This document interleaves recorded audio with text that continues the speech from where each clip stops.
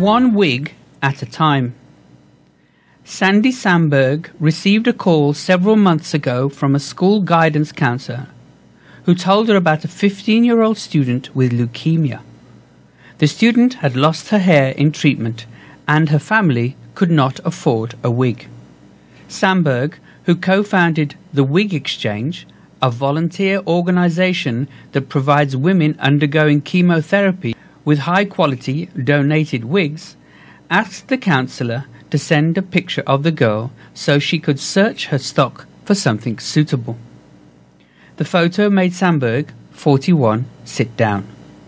The girl was a perfect match for the wig the organization had received nine months earlier, one with a powerful story. It had been owned by a 23 year old who had battled leukemia and had been devastated by the idea of losing her hair. Her college friends had pooled funds, raising enough money to buy her a beautiful 3,000 euro wig with long, straight, brown hair. I couldn't believe it, Sandberg said. It looked beautiful on her.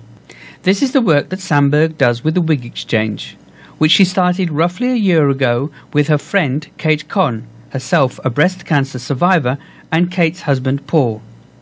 Sandberg previously worked as a nurse practitioner in a private practice in New York City, then launched a business providing starter kits to new parents, which provided tips and produced samples.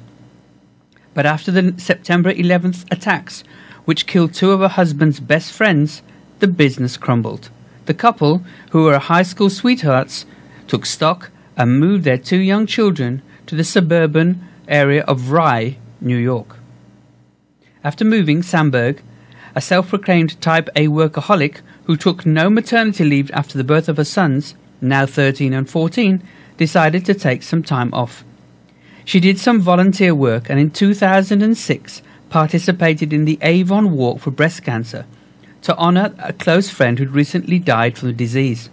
A year later, Sandberg and some of her friends started a team from Rye, which morphed into Soul Ryders, a volunteer organisation that raises money for the Avon Foundation and also donates funds to help address unmet cancer related needs in the Rye community.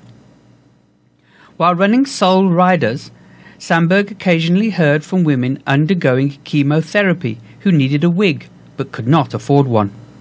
I began to do some research and found that high quality wigs are thousands of dollars, she said.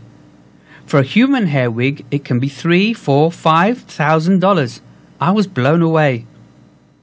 Around the same time, her friend Conn had finished treatment and was wondering what to do with the beautiful human hair wig.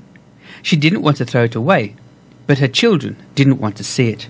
The two women and Conn's husband hatched the idea for an exchange that would provide donated wigs to women going through chemotherapy regardless of their income. Early on, a local newspaper heard about the organization and wrote an article. Sandberg received roughly 90 calls in just two days.